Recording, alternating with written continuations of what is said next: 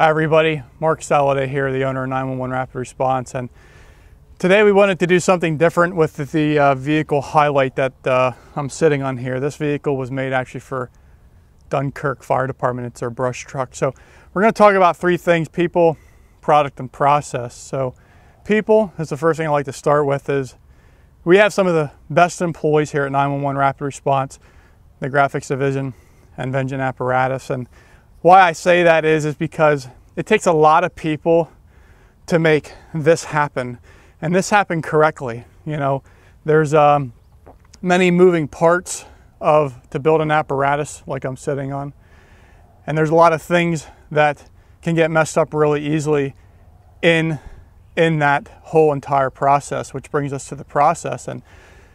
The process is important, and our processes on our back end are bar none. Uh, they, are, they are smooth, they work very efficiently the whole way from the quoting to the ordering to the purchase orders to the building the trucks to the delivery process.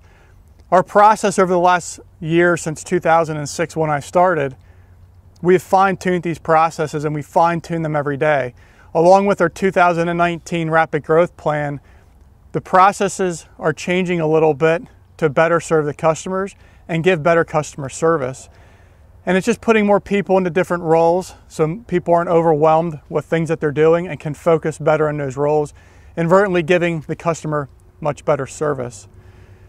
The process with something like this might not seem a lot. You might just see this as a as a super duty truck with a body on it and a pump in the back, right? But there's a lot more to that, okay? Here at Rapid Response, our people take care of the process from start to finish. We help you get the truck, we get the body, we custom make top rails to hold hose. We get the, the skid tank from CET as you see here behind me, and we make sure all those tolerances work 100%. So when you see the skid tank have an eighth inch clearance on either side, there's a reason for that. When you see it come right to the back where it's supposed to stop for the tailgate to closure, there's a reason for that. This stuff just doesn't happen automatically, okay? It uses processes and it uses the correct people to make this application work perfectly. We get into products. Products are very important. Uh, we found throughout the years bad product, good product, expensive product, affordable product, and overall, our product is outstanding. I would say for the last two years, our product is, is bar none. You see a lot of Whelen items used on this vehicle. CET skid tank here in the back, one of the best skid tanks that, that, that is made in the back of the vehicle here down to the nozzles, the hose, and everything is supplied right here at 911 Rapid Response. Down to the custom printed chevrons on the back, to the graphics, to this custom coating that's on these top rails that we did for longevity of the customer. So we have great people here. We have excellent processes and our products are outstanding. We put all three of those together and we have a striving business as we move forward in the upcoming years here at Rapid Response. We're excited to show you this vehicle. I'm excited to highlight it for you. I want you to pay attention to the details down to the, down to the powder coated wheels just so it looks right. While all in mind, keeping budgets in mind. Uh, that's one thing that we are, are really proud of here as well, is that we can build something like this, but keep it with an affordable budget at the same time. Want to show this to you? Thanks for watching. Appreciate all you subscribers on our social media sites. And again, if you're ever in this area, stop in, ask for a tour. We'd be happy to give you a tour of our facility. At the front of the vehicle here on the Dunkirk brush truck, and we're gonna go over this with you in, in some detail of exactly what we did. So we took off that front bumper because I mean, really, who likes a factory front bumper in a brush truck, right? So we installed this ranch hand front bumper. Has a nice uh, grill protection here in the front, some uh, side uh, corner protection here with the rails and a nice uh, solid front bumper. So if they do hit any type of trees or anything, they got the front of this truck protected. We have four Whelen M2 series lights synchronized, which are also synchronized with our T-ions on the side of the on the side as well.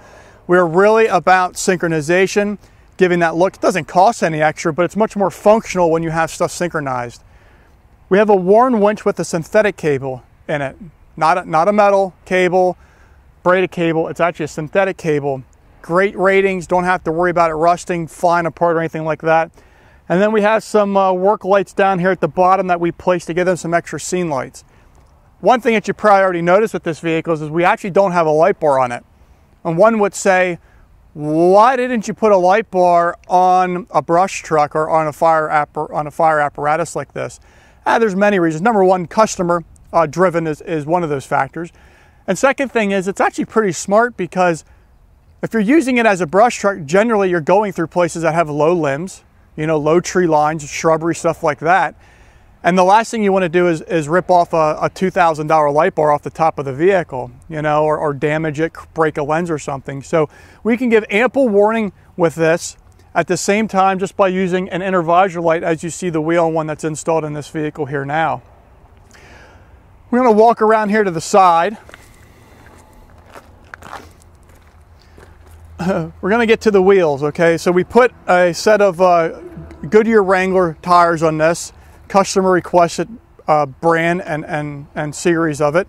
But what we did with these rims is, and this is something that I spoke to you just a little bit about when it comes down to people, process, and product, right? We have a standard steel wheel that instead of upgrading this to an expensive aluminum wheel or a black aluminum wheel, we were, we were able to budgetly, affordably take this silver wheel and powder coat it. We did actually a semi-gloss powder coat on the wheel so it matches the other black in the vehicle. It still will clean up nice, so if it gets brake dust and stuff like that on it, that wheel will still clean up really nice. But uh, it, it, it's very effective and affordable, and it's done 100% here at Rapid Response. From the demounting process of the wheel, to the remounting, to the powder coat, 100% done at Rapid Response. We have all the equipment here to do that type of work. We're going to go around to the side. We have a pair of uh, the HDX series Westin uh, running boards on it. And, and what we love about these running boards is they kind of act as a, as a rocker panel protection, but it gives you actually a very functional step to actually get in the truck, which is really nice. A lot of running boards are cosmetic looks. They make the truck look nice, but they just don't work. One nice thing with this is they're actually functional and these running boards actually do work. We added two T-ions here on the side of this running board, which are synchronized with all the other T-ions on the side of the vehicle. And these also go to full white floodlight, the whole side. So if they are out in the middle of a field, they'll have nice scene lights the whole way around this vehicle that nobody's tripping and falling hazards and anything like that. The, gra the graphics, the graphics are done from our market graphics division, done right here at Rapid Response. 100% uh, custom printed. So all this is custom printed. And uh, we have a nice black reflective stripe going over the side of the vehicle. As we come around to the side, we have a Knapheide aluminum body on it. You're going to notice this side is configured different from the other side. The other side is a longer compartment up top for shovels, saws, and that type of thing customer requested and we helped them uh, pick which body would work the best for them. And then what we did is in our fabrication department, we took this material here and uh, we cut it out, bent it in our bender, welded everything together, and then we had it uh, coated from uh, a company called PPC, and we made them custom troughs up top. So it looks fluent like it's one part of the body, but this was actually made in-house here at the at our Vengeance fabrication shop right here at Rapid Response as well. All the interior compartments actually have uh, LED lighting and it's a little hard to see we're out here in the daylight, but it actually has ROM uh, LED lighting in it that we put. They mount really nice in there. Close this up. Let's move around to the side. We have a custom auto eject.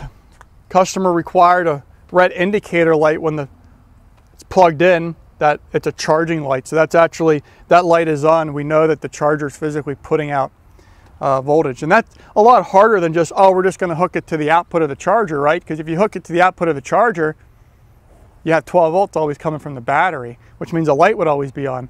So there's a little uh, extra stuff in there, we'll call it, to make this function work correctly. As we move around to the back of the vehicle, we have the new Whelen Ion series, which are the longer versions. They fit real nice in the back of these trucks. They work real nice with the factory tail lights as you see here from Knapheide. I have right now the uh, rear warning lights on. These are 700 series uh, warning uh, scene lights, I should say, that are pointing out the back right now. Gives a real nice visibility out the back of the truck, scene lights out the back. Then these troughs, this is the hose trough, and this is this section here is actually for the hard sleeve. We even put a little handle up here, that way if they got to get up top, they can grab a hold of it easily. I'll flip down the back here. This is a CET skid tank. It's a 250 uh, gallon tank. It has a 23 horsepower Vanguard motor on it. We basically give them the sizes that we need and then they make the unit for us and ship it into us. We put a Dominator stick up top. Again, comes down to this customization, fit and finish. Very sleek, very clean on how it's mounted.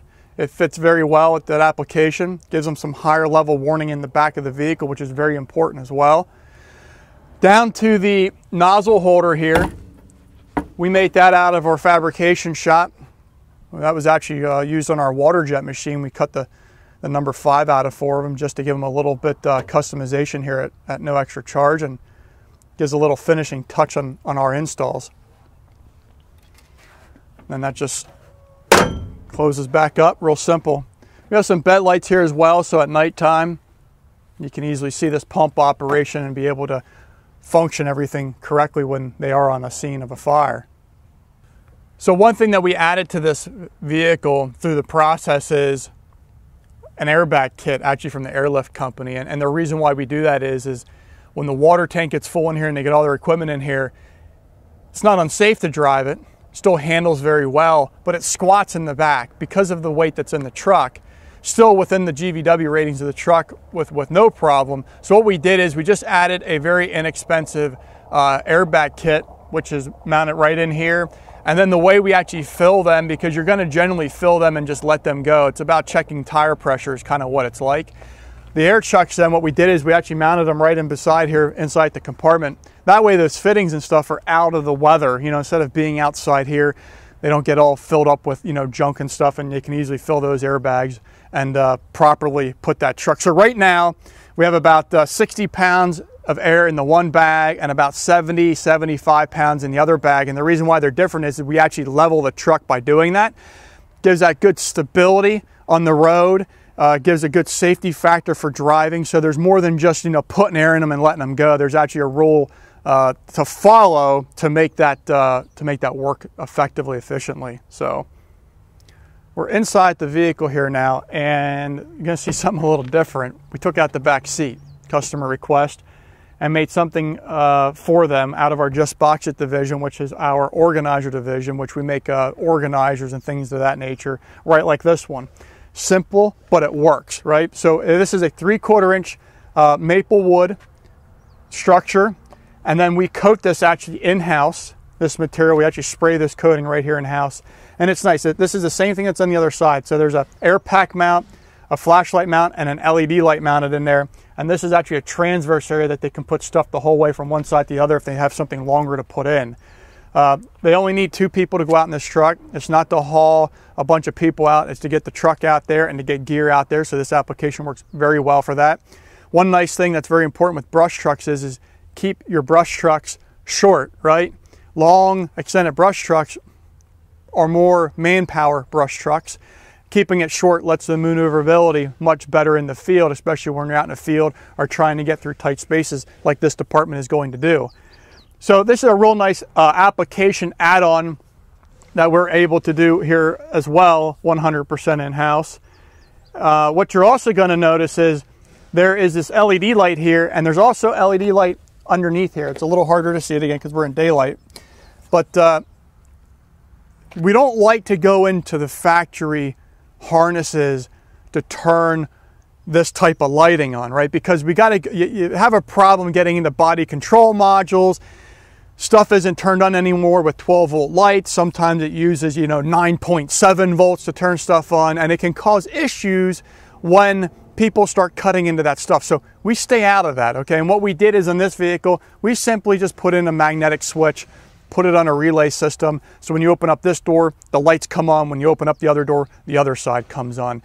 It's a, it's a, another way to ensure that our warranties stay separate from Ford to rapid response stuff and we don't have any conflicting issues, you know, if the vehicle would uh, have to go back to Ford, you know, we don't have to worry about uh, any pointing fingers or anything like that.